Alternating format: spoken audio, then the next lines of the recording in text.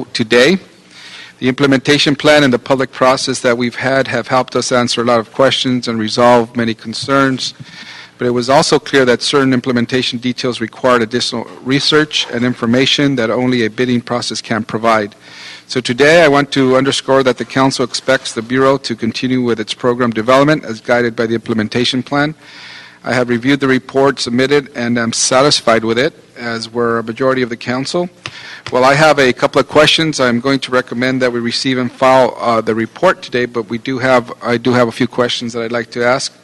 And uh, well, so with that, let me turn it over to our Public Works President. All right. Good afternoon, Honorable Chairperson Huizar. My name is Capri Maddox, President of the Board of Public Works.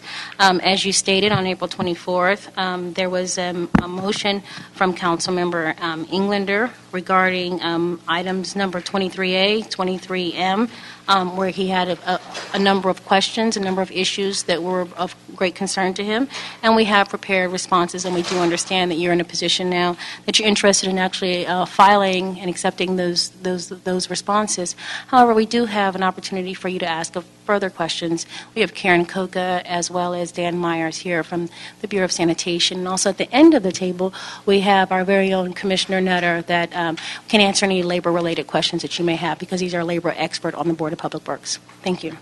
Thank you. Anything else? Do, no?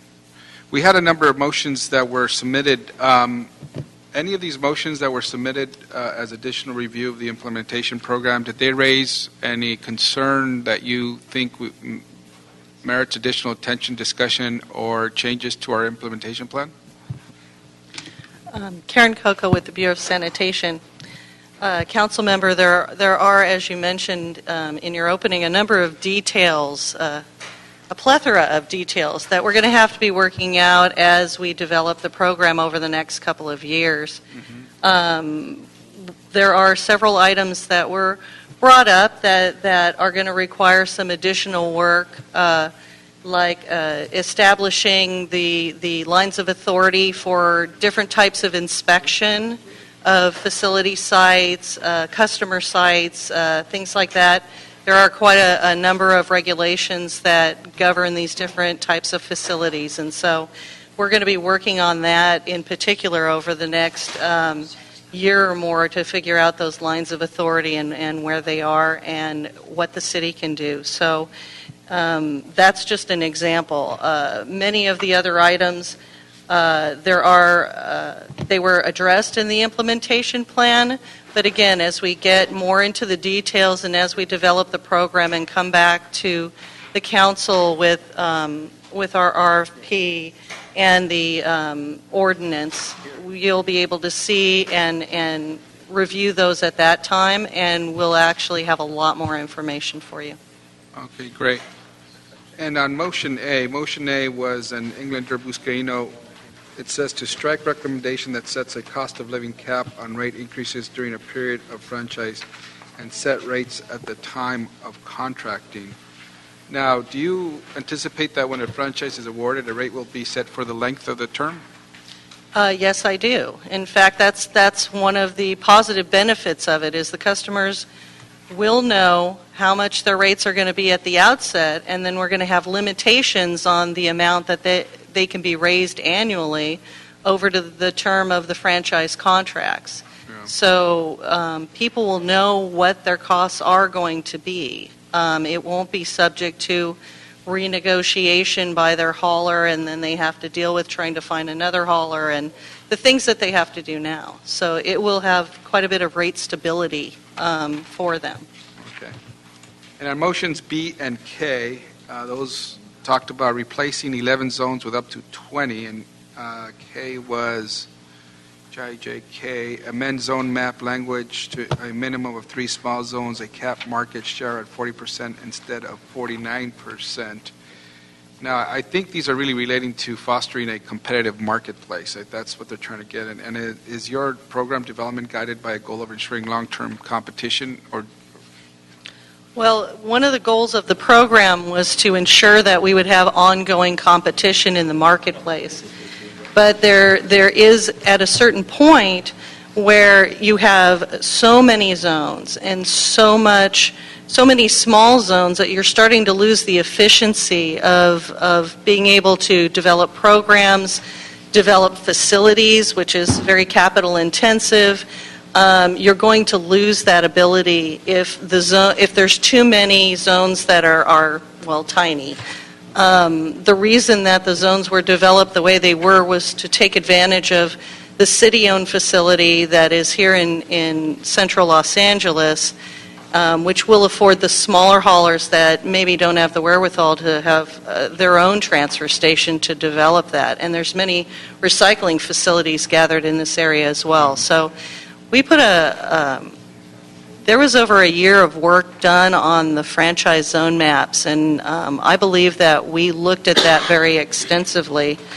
On um, motion K, um, let's see, uh, Motion 23B.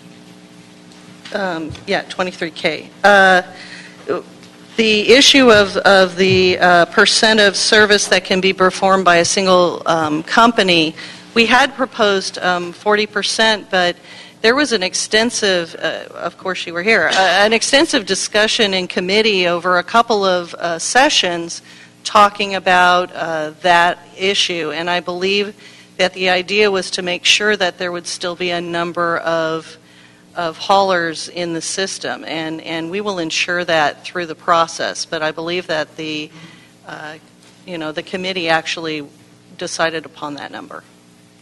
Great, thank you. Those were all my questions. Is there anybody here from any of the council offices who submitted motions that would like to speak? No? Okay, as you know, we had our decision to move forward with uh, our franchise system, and that prompted several motions that we heard in committee. And then we, when we did our implementation plan, that prompted more motions.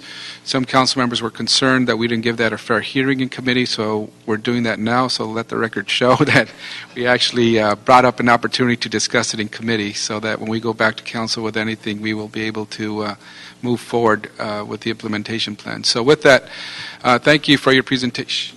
Yes? Um, Oh, there is, I okay. believe, All I believe There that we have are. Nicole Bernson, Deputy Chief of Staff for Council District 12, present. If there's any particular motion you would like us to focus on or ask questions for the staff? Well, first, I want to uh, to thank the committee. I particularly want to thank your staff. Um, Martin was very um, generous to sit down with us and make sure that he understood the intent Sorry, of all for the. record, your name and, I'm sorry, excuse me, Nicole Bernson on behalf of Councilmember Englander, CD12. okay. We have a lot of students here who not here every day, so they may not know who you are. you. We all know who you are. Um, I did want to thank Martin for extending the opportunity to meet with us and go through all the intent of all the motions. I think there's some um, clarity that's been added in the um, letter that was um, that was uh, developed by staff, um, and then in particular.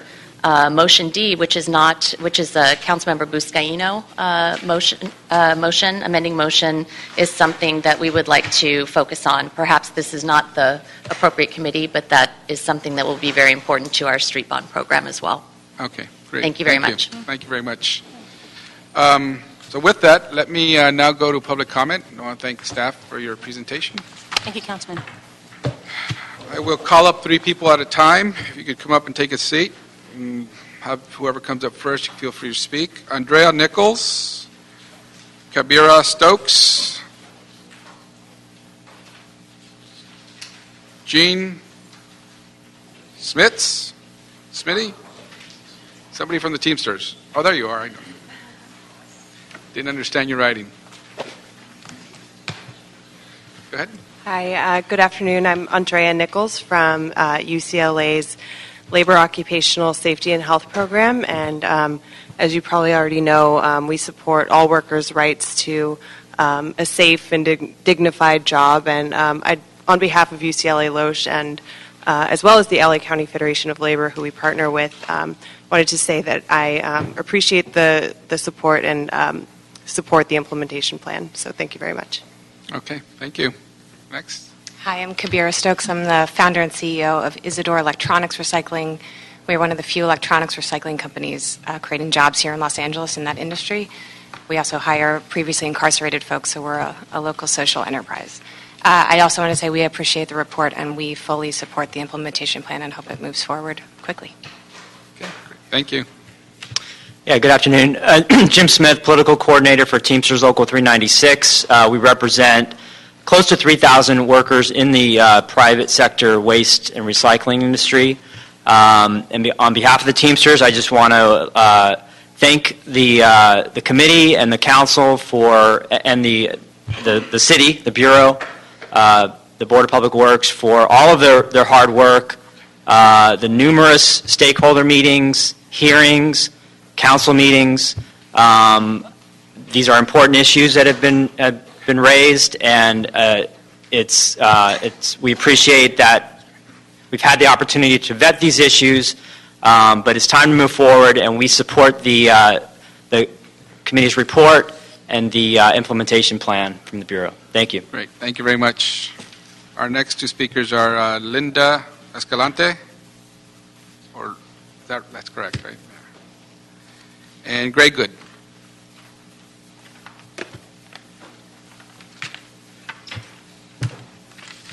Good afternoon. My name is Linda Escalante. I'm a policy advocate for the Natural Resources Defense Council, NRDC.